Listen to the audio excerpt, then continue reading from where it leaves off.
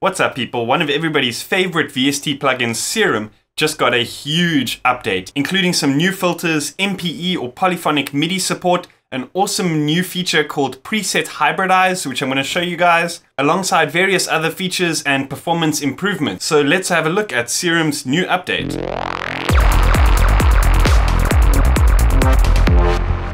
So one thing to note, I think this is still in beta, so there are some things that might sort of change for the official release. That being said, is anybody who owns Serum can head on over to the forum, and if you don't already have an account, you can create one there and download this exact version that I've got today. So with the new Serum update comes a new factory skin created by the guy who originally created the default skin of Serum, and you can access it here by clicking on the Serum logo in the top, and you can drop down and choose the Promethean skin. It looks awesome, I won't lie, but I'm very used to the original skin, so it'll probably take me a bit of time to get used to uh, the new Promethean skin. So I figured I would just show you guys uh, for the video, but let's pop back over to the default skin. Another small thing I want to show you guys is that the noise oscillator now has a direct output. So this is cool, you can bypass filters and effects and stuff and send noise directly to your outputs.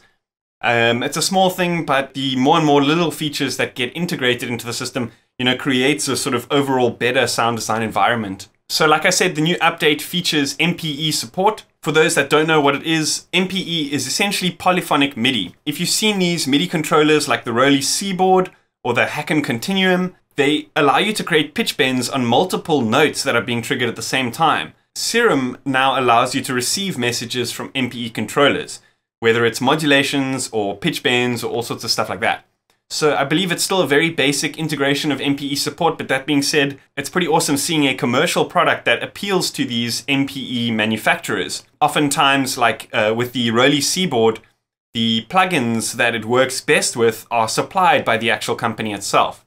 So if you've made presets on Serum or something like that, and you get yourself a ROLI Seaboard, you won't have the full MPE capabilities until the latest update. They've also added a couple of new features in the Wavetable editor window here under the process tab, you've got various uh, settings that kind of use one of the oscillators to either sort of subtract or add harmonics to the other oscillator. I'm not going to go in depth into these settings here, but play around with those and see what interesting things you can come up with.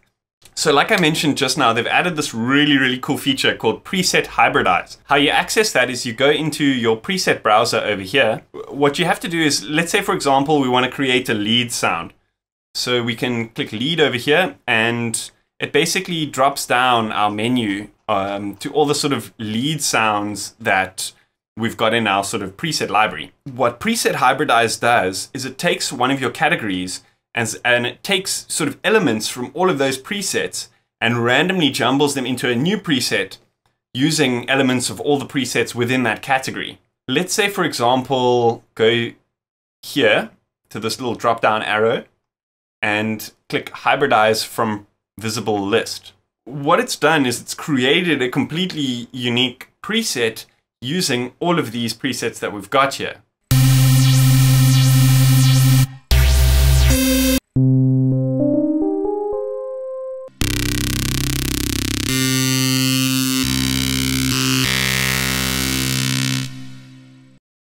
Damn, that's really cool.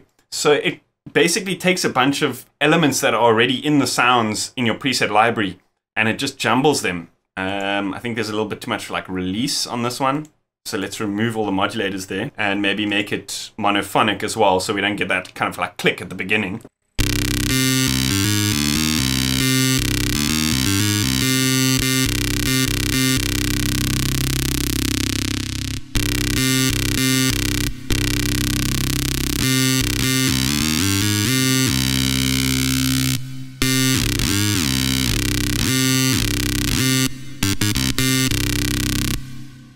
Damn, that's awesome. And it just sort of randomly came up with that sound from nowhere. Another cool thing about preset hybridize is it allows you to prioritize a certain preset. So let's just use, for example, bottle blower. Um, I believe this is in the Serum Factory library.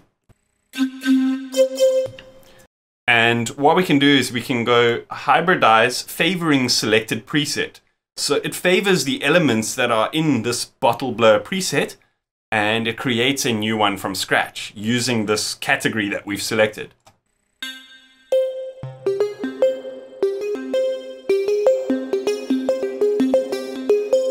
So it's basically taken like the sort of tone, it probably leaves like the oscillators the same, but changes like the modulations and stuff like that. So that's a really, really cool feature as well. So the question on everybody's mind is how are the new filters? And they're pretty crazy. So they're over here in the miscellaneous folder. They're not the kind of filters that I would probably use to kind of like sweep through effects, but they're very cool in a sort of like sound design sort of techniques. So I'm gonna show you what I'm talking about. So let's just select Scream 1 LP. This is just on a regular basic saw wave.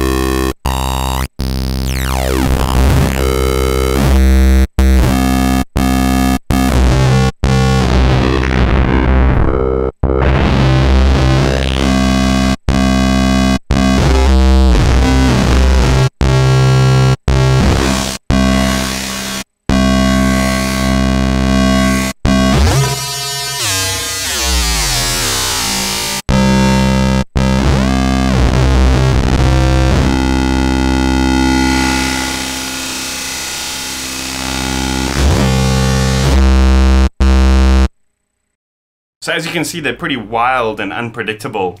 But the cool thing about this is you can take a, something like a saw wave, which we all know, and create so many different variations of that, which you can then slap a traditional filter on and create your sort of regular type of sounds and stuff like that.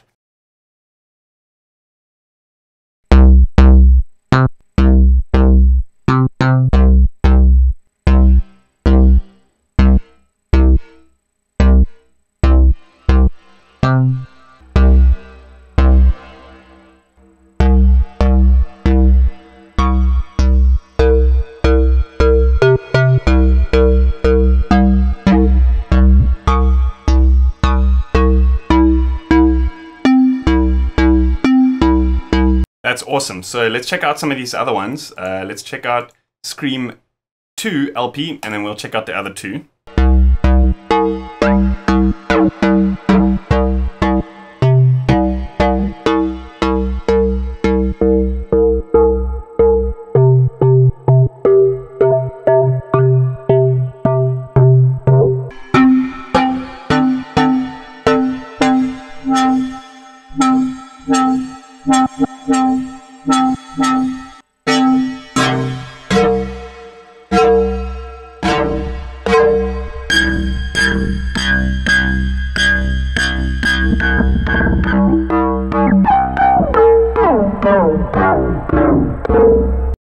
That's pretty crazy. So let's check out these other Scream 1 BP. I'm just going to put it again onto a regular saw wave.